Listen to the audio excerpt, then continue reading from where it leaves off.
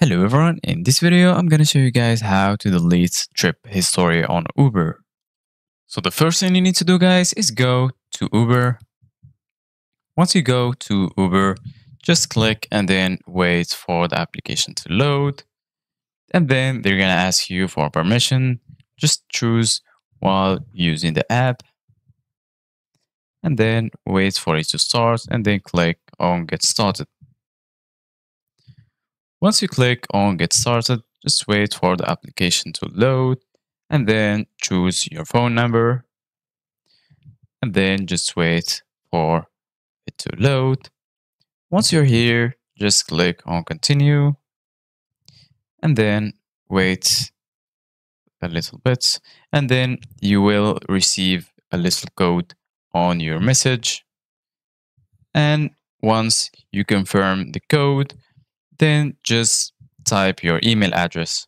So for me, I'm going to choose this email address and then click on next. Once you click on next, then they're going to ask you to enter your first name and your last name.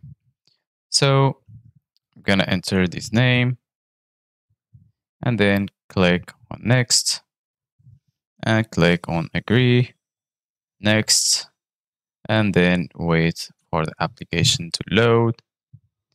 And here you need to select your preferred payment method.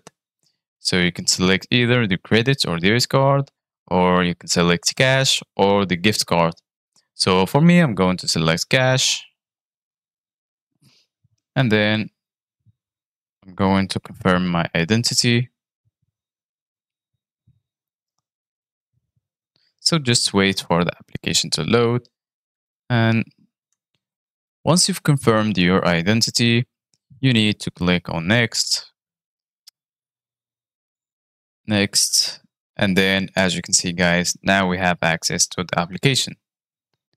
So once we got access to Uber application, all you need to do guys to see your trip history is go to account.